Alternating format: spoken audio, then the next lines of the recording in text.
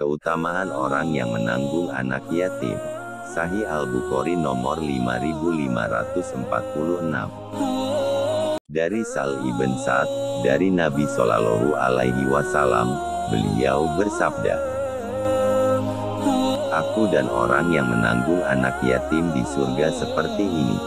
Beliau mengisyaratkan dengan kedua jarinya yaitu telunjuk dan jari tengah.